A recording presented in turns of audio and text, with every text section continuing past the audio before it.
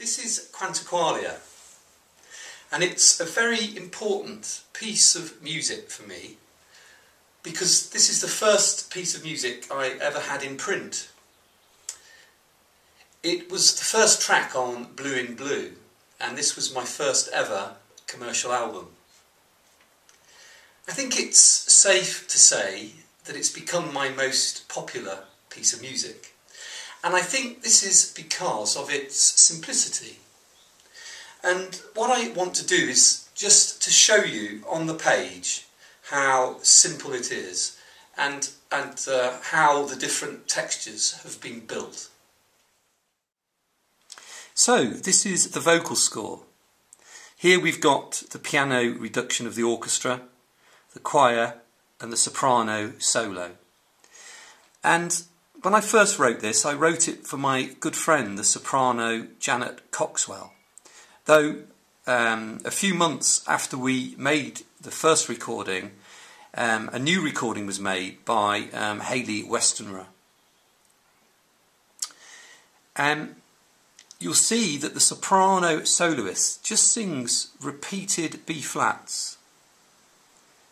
And I've always loved the way you can have a repeated note under changing chords. There's something very stabilizing and comforting about it. The words are by my brother Andrew, and in Latin they mean, O my soul wait, anima mea. And they go on to say how great and how wonderful the moment of meeting will be. The whole piece is simply made up of a 21 bar chord sequence. Here it is, look, in the piano reduction. And against that chord sequence, I put a melody for the soprano and then choral textures. But first of all, I'd just like you to hear how this chordal sequence, which is the basis of the whole piece, sounds on its own.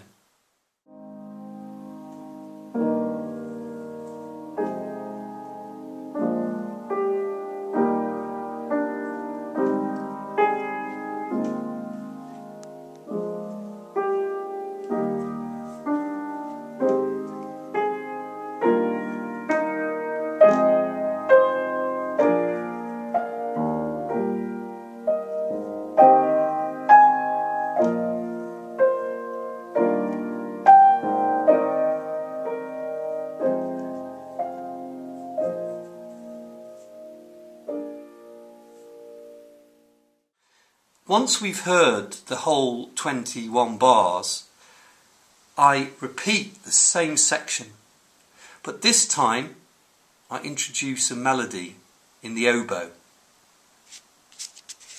And this melody develops and really exists as a piece in its own right. But over it, I continue the choral textures and now I bring in the soprano. And this is really the climax of the work because the soprano gets higher and higher, A flat, B flat, C, and then a top D. And what I wanted to create here is really a feeling of ecstasy as the singer sings about this moment of meeting and how great and how wonderful it will be.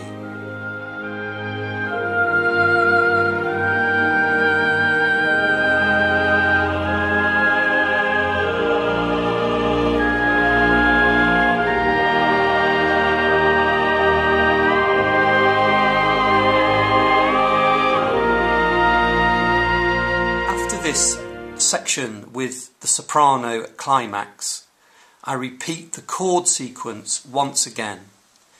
There's a reference back to the opening, and then, towards the end, I give the tenors and basses this slight moment of dissonance, the E flat and D, resolution.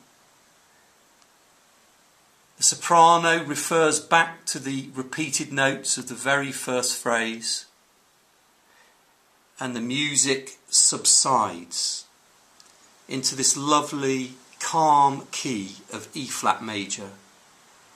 All of the orchestra play, and all of the singers sing in this perfect moment of meeting.